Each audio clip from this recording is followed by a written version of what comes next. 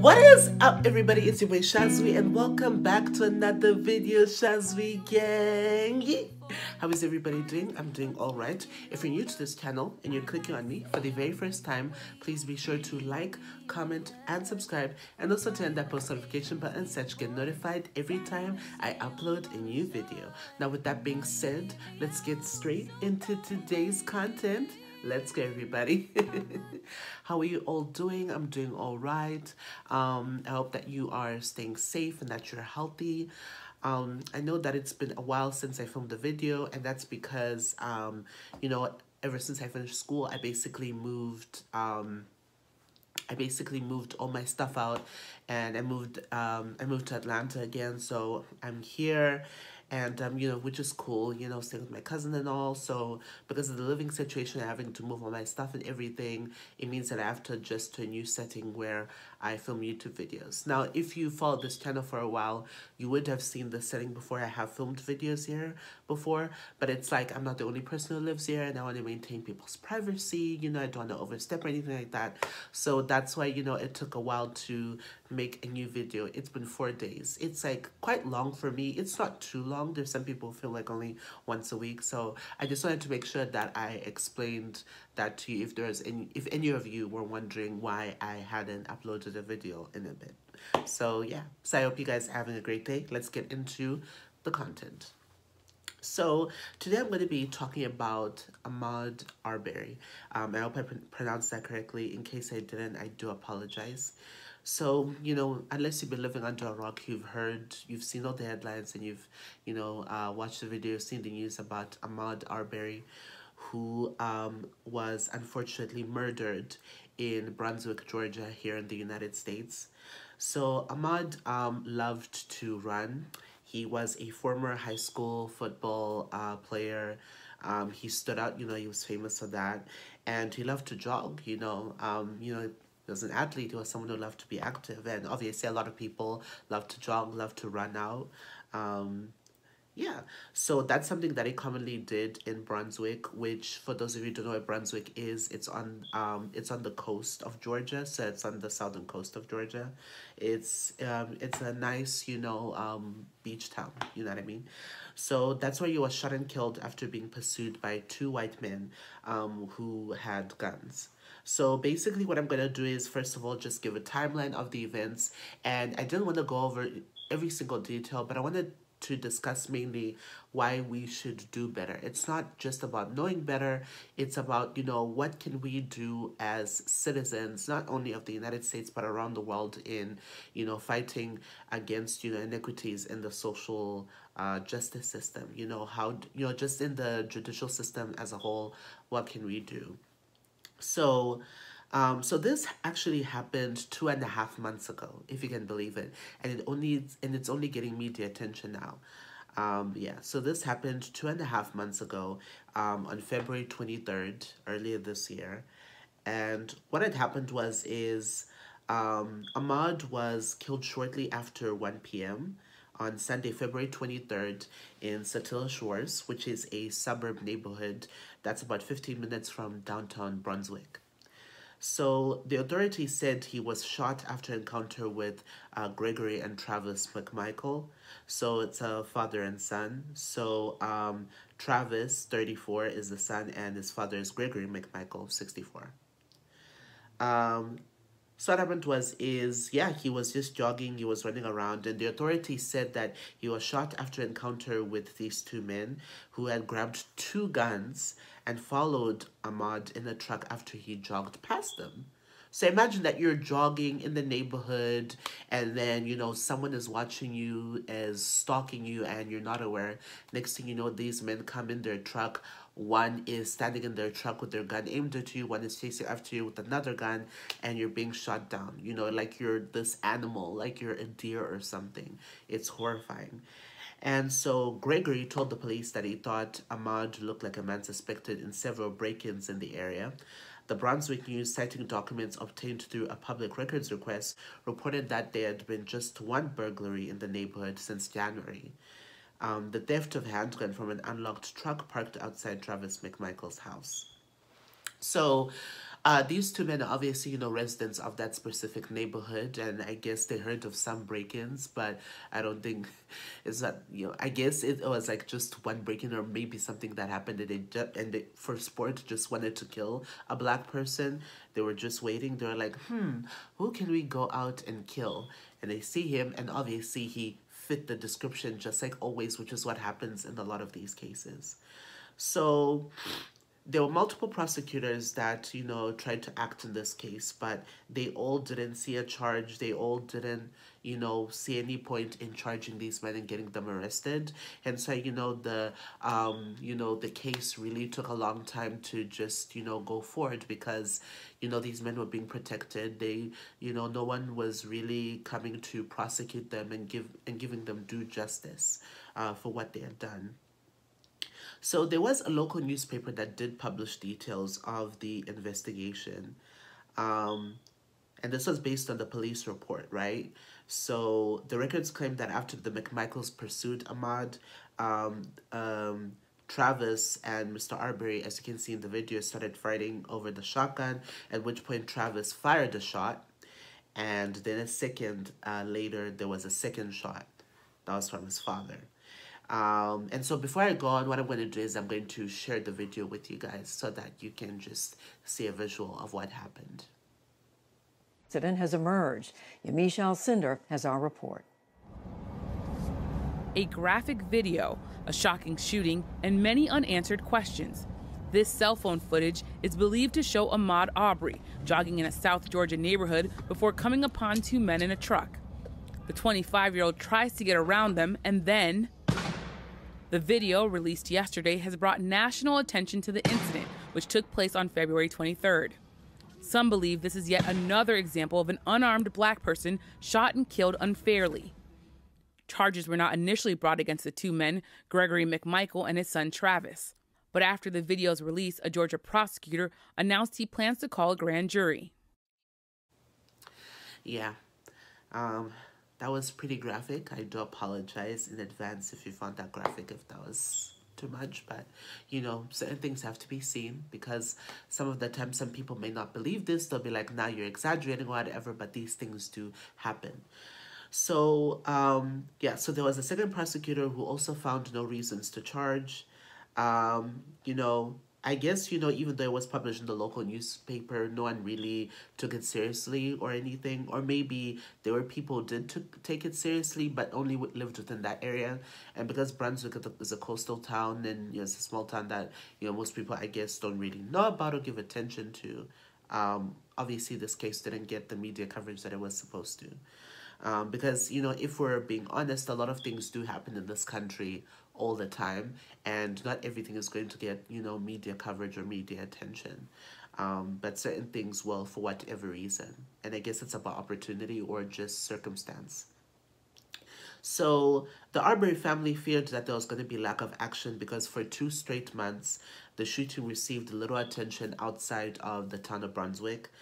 Um, so as the coronavirus pandemic started dominating headlines and it shut down communities across the country, it was hard to get attention or to get media coverage of this because they're focusing on the virus. And so there were some protests that were um, being held that they were trying to do, but because of social distancing restrictions, it made it difficult for people to gather and protest what had happened. Um, yeah, so that's pretty much what happened. So the video that um, I just showed you that circulated online and, you know, blew up everywhere and, you know, got people talking, um, that only emerged on May 5th. Um, as to who recorded this video, it's not known yet, but I'm guessing that this video was um, accessed um, way back by the police when it happened that the person who took the video did send it to police as proof that, hey, I actually did see this happen, but the police obviously didn't do anything about it. Um, because literally for two and a half months, which is a long ass time, the police covered this up. They tried to protect this man. The prosecutors didn't say any charge. And that's a problem because you know, what makes this story so frustrating for me and, you know, has gotten so many people frustrated, you know, um, within America, around the world, is that um, not only is it against the men who committed the action, because that shit happens all the time, but it's like the justice system and law enforcement who try so hard to protect these white men. You know what I mean? And that's why we talk about white privilege. That's why we talk about, you know, um, social inequities in the justice system and most importantly, Black Lives Matter. You know, so if you're someone who's going to come up and be like, oh, all lives matter, or, you know, try to steer the direction of the conversation against what the real problem is, then you're doing more harm than you are doing whatever in your mind is good or trying to bring, I guess, sense to a conversation, but it's nonsensical. Because the thing is, by saying Black Lives Matter, we're not saying that other lives don't matter or that black lives matter matter more. What we're saying is that black people are treated a certain way in this country at a certain rate more than other races. There are things that happen to them. They're not the only people who are killed yes. They're not the only people who are incarcerated yes. But there are certain things that happen to black people by white people or it could happen by other races that don't happen to other races by black people or by other races especially to white people. And by addressing um, the inequities that are within the American justice system. It will help other races too, and it will just create equality for everybody. And that's what this movement is aiming to do. So there was a video that I came across on Instagram, and this video was shared by Amanda Seales, who I love. She's an actress on Insecure.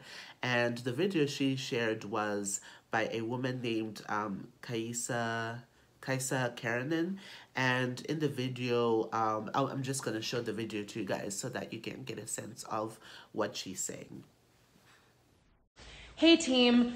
So I have a call to action to my fellow white teammates in light of not only Ahmaud Arbery's murder, but everything that goes on in our world on a daily basis. It is time, it's been time that we step up to the plate and we start taking action, sending our condolences, reposting something, and then going about our everyday life is just not okay. That's our white privilege. It's not something that really directly affects us. And by doing so, we're continuing the cycle. So at this point in time, I am placing out a call to action for us to start doing the work. I'm personally going to be joining joining an anti-racism course led by Monique, which I'll post here and I'm going to be joining a white led book club to start learning about our white privilege, to start discussing that in open spaces, and to really understand. Okay, that cut me off, but um, to really understand the racist world that we live in, that we were born into, and that by being silent, we are continuing. Um, so, my call to action here is to quit sending our condolences, to quit being horrified about what's happening every single day, and to start putting action towards creating the change. If we don't do that, it's not going to change. And our actions are long overdue. So I am hoping that you decide to join me. Maybe you decide to take those courses and join the book club. Maybe you decide to do your own work. But my call to action today is that we start doing the work. Yeah. Um, so, you know, that was a pretty good video, pretty encouraging. And, you know, just to give a bit of background, Kaisa is basically a um, personal trainer, fitness educator, expert. She, you know, is also a social media influencer, encouraging people to work out, to stay fit. And, you know, I did agree with most of what she was saying, but I do disagree with the part where she says quit getting horrified or quit um, sending condolences sending condolences and being horrified and all that is important because at the end of the day, the only reason why this case went through and why the men Alleluia Jesus, fortunately, were arrested and charged, and as of now are facing no bond, no bail time. Um, is because of the media coverage. And is because this video was shared around and people starting hashtags and people coming together of all different races and saying that this is absolutely horrifying, this is wrong, this needs to stop, all of these um, uh, uh, brutalities that are happening, not just police brutalities, but just brutalities against citizens um, that is taking place. So that's why, you know, it is important for people to react and for people to, you know, share these articles because for a lot of people, that's pretty much all you can. I'm not saying that's all you can really do, but the thing is, we all have lives to live. We all have things that happen within our lives. So, yes, you would want to do more action, but it's like you also have to look after yourself too. Because at the end of the day, you want you don't want to die in the streets for some protests. You know, I know that a lot, you know, movements in our country and independence of African countries and independence of people and a lot of movements that happen do require protests, do require people going in the streets and letting lawmakers know, policymakers and people in the White House, etc., know that we are fed up, that we are tired of what's going on. Um, but at the same time, you also have to be cognizant of the fact that um, for a lot of people, I know, especially for myself, thinking about, you know, other than signing petitions and other than, you know, um, trying to talk to, I guess, fellow white friends, whatever it is, there's really not much you can do action wise other than just spread the news, let people know, and have conversations with people.